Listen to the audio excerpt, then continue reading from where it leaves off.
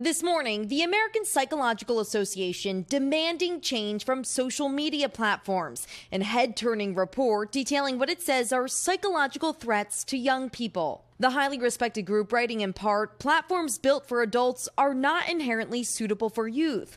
Youth require special protection. The APA calling out features like endless scrolling, likes and follower counts, and push notifications that it says capitalizes on developing brains that are more sensitive to impulses, social feedback, and distraction. According to a recent survey noted by the group, more than half of teens reported at least one symptom of clinical dependency on social media, something families described in today's deep dive into the impacts of screen time last fall. It can be really addicting. They can begin to really hinder your life more than they do help it. Instead of liking yourself, it's how much everybody likes you. The report also noting how the freedom to scroll around the clock has been cited as the predominant reason why adolescents are getting less than the recommended amount of sleep. It comes nearly a year after the U.S. Surgeon General issued a landmark health advisory on social media use in adolescents. We see rates of depression and anxiety and suicide and loneliness going up among young people. And I'm concerned that social media is an important driver of that youth mental health crisis. Uh, this is the defining public health issue of our time. The APA writing there's been few meaningful changes since then, but some social media companies disagree, including Meta, the company behind Facebook and Instagram, which recently launched nighttime nudges to push young people to close the apps and now also allows parents to schedule breaks for their kids on the platforms. Without laying out specific changes, the APA says there must be a comprehensive approach to fully address the dangers of an increasingly screen reliant world. And the APA says the onus falls on social media companies to protect their youngest users, but parents can help too. Its chief science officer recommends all devices in a household go on top of the fridge at 9 p.m. And hey, it can help adults too. Yeah, unless you have a ladder, because then those kids will climb up and just grab it. Emilie, They'll thank find a you. way. Yeah, let's bring in Tom Kersting. Mhm. He's a family therapist who has extensively researched and written about the impact of social media and smartphones on children and family. Good morning to you. Good morning. None of this will come to as a surprise to you whatsoever. But you know, just on that point, we could be waiting around forever for these social media and technology companies to do the right thing. They're not gonna. It's Yeah. really up to parents, isn't it? Yeah, it, it's certainly. I mean, you know, these companies, social media companies, w- they're in a business of having people's eyeballs on their products as long as possible. That's where they make their money. So, me, when I'm out there lecturing, I have a lecture tomorrow night. I speak specifically to parents and kids, give them the information they need to understand you know, what this is actually doing to kids' brains, their development, their social skills, their communication skills, their mental health. And you know, I really implore parents, and I try to empower them to take control under your own roof, one household at a time. Well, I think one of the most interesting things that I read in the note was that the brain is most pliable for a child between the ages of zero and one, and then in puberty, which is when the kids are really knee deep into those smartphones. So, what kind of damage can be done there?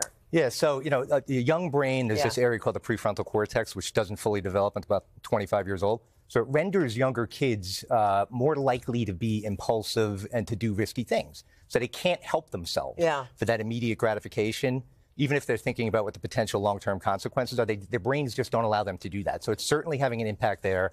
Um, And the algorithm, for Yeah. whether it's social media or even smartphones and the ding of getting a text, Yeah.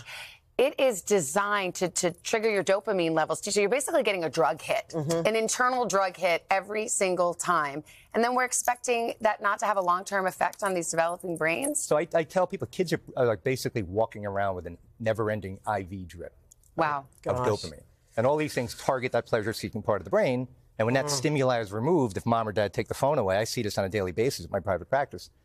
Kids have an absolute meltdown and crash. You were saying that, that it's like a it's like withdrawal. It's Yeah. like a drug withdrawal, and you're seeing more violence in kids because of that. I'll have parents call me up, 10, 11 year old kid. Uh, kid has 12 holes in his bedroom wall, uh, got physical with the mom, and then the kid comes to my office, and it's this like little nice looking kid. And it's literally, it's that's the withdrawal. It's like if you take a drug away, we have this balance. It's called homeostasis. When there's an imbalance, stimuli is removed, bang, you fit, you react mentally and physically. I feel like a lot of parents are trying, and there are movements, and Savannah's part of one too, and I want to be part of one to stop smartphones from being in the hands of kids. But sometimes you're up against it because they get their school homework on the smartphone or on the iPad, and the kid needs the technology, or the parent, some parents believe they need to keep up with their kid. Now, the smartphone, I'm a big believer that they sh- schools shouldn't have phones even entering the school building, but it's really the problem is really with the parents because it's become sort of like the umbilical cord. They become dependent. that's a on problem to too. know- I Yeah. mean- it really is. But just it's a distraction when kids have it in their pockets Yeah.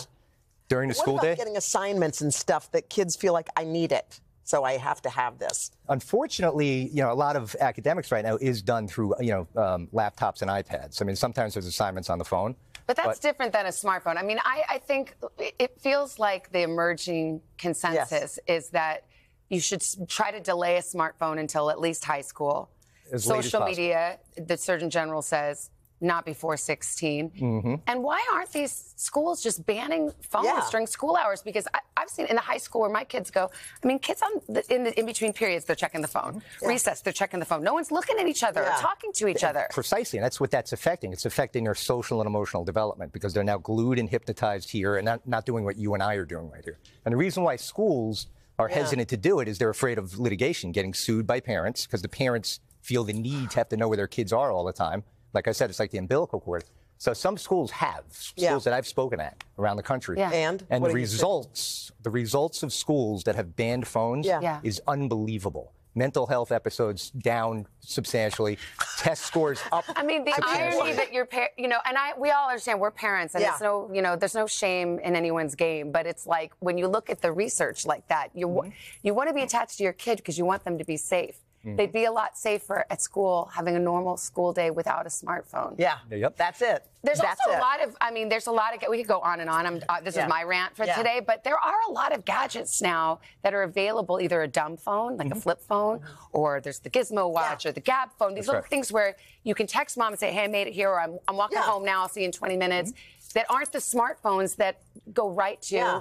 kids' dopamine center. Yeah, there's one called the Gabb Wireless, G Yeah. A B B. So it looks exactly like your iPhone, Yeah. right? We call it a dumb phone because all you could do is text, make phone calls, and you can take photos. But there's no internet access. Yeah. So if you have a young kid that's the only your only one that doesn't have a phone, that can you know ameliorate that for that Yeah. kid. because and you only text who you're, you're set up to be able Yeah. to text with. yeah, yeah, yeah. people. yeah, just your whoever's in your Wow. contacts. God, We we're could on go fire. on and on. Come We're on. fire. I mean, on the mommy Yeah. warpath. Yeah. Okay, Thank but you, thank you Thank so you. much. Thanks, we want to send it over to Al. Get it done, people. Come on. How hard is this? Hey, thanks for watching. Don't miss the Today Show every weekday at 11 a.m. Eastern, 8 Pacific on our streaming channel, Today All Day. To watch, head to today.com slash all day or click the link right here.